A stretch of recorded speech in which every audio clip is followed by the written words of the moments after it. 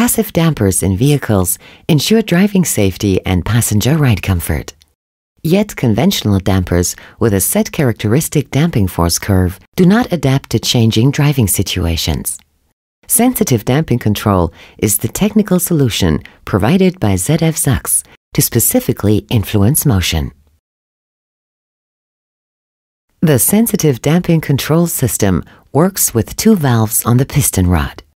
These valves sensibly enhance passenger ride comfort and provide additional safety reserves in critical driving situations. For normal road-based excitations, a base valve operates.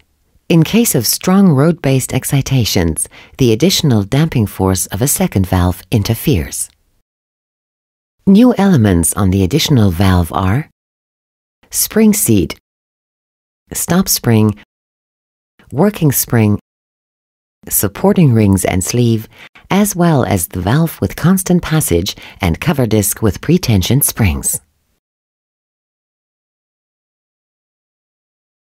The characteristic damping force curves show how the system works. Compared to conventional dampers with a set characteristic damping force curve, sensitive damping control provides more driving comfort and additional safety reserves. Fixed to the piston rod, the base valve continuously dampens the vehicle body. A second movable valve is suspended between two springs and does not act for small excitations. If the spring is at full stroke, the second valve dampens in addition and thus increases driving safety.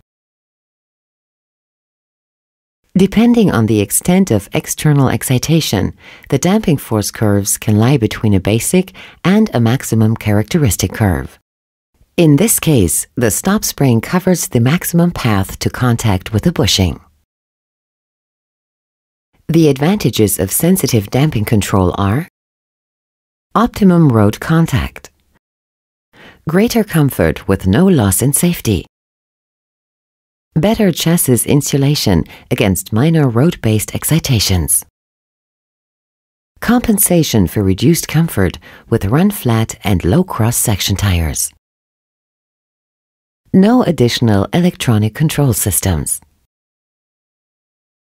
Sensitive damping control is available in monotube and twin-tube design.